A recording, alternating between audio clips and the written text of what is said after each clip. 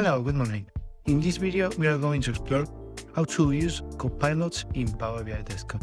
This report is the same one we worked on the first video, where we use Power BI service with Copilot and explain the difference between the plans. Now, we will focus on the specific capabilities that Copilot offers in Power BI Desktop. Let's go.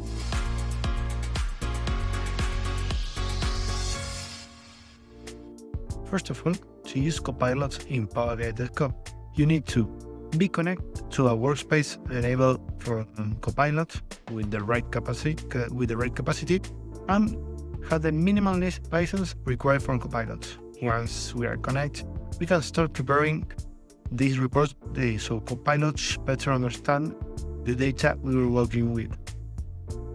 On the Home tab to the right, we have the Data Preparation AI. Here are the three key features that we need to solve. First, we need to simplify the data model, reduce the model size by removing columns, tables, and measures that we are not going to use with Copilot. After that, we need to verify we have verified answers to anticipate question and end user might ask and define answers in advance. To do this, we had to select the visual, click in Configure Verified Answer, and Copilot suggests possible question. From there, you can add context and customize the answer according to the business line.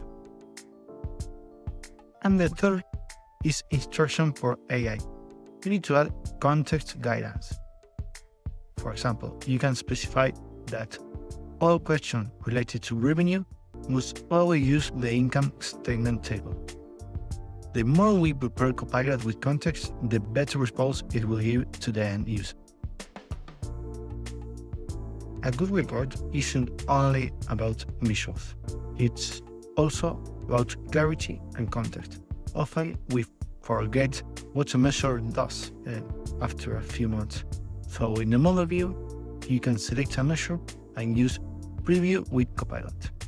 Copilot will analyze the DAX formula and generate an automatic description, making it easier to document and understand the model. One of the most powerful use cases for Copilot is the help with building DAX measures. In DAX review, you can ask Copilot to create a measure. And for example, we ask Copilot to create a measure of net income here to, to date.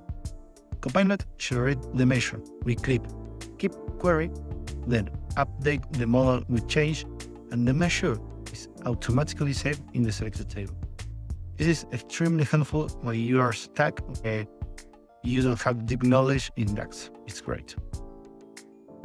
And for calculated column, the process is slightly different because Copilot does not insert them directly into the model.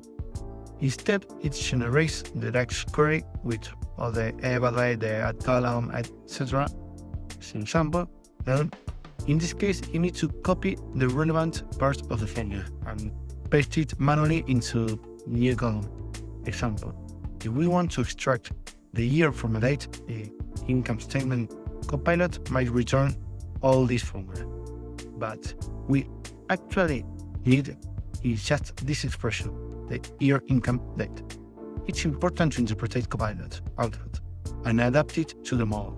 It's not always just copy and paste. You need to understand the context to apply it. Finally, Copilot can also be used for queries over the model and to create visuals. You can act to generate charts, tables, comparison with external data, even an entirely new recap page, for example. We can ask it to build a page with the most relevant KPIs, including line charts, column charts, and cards. Copilot generates this page automatically based on the model context. And well, that's it for today. We hope Microsoft expanding Copilot across all the versions so everyone can practice and take advantage of this full potential.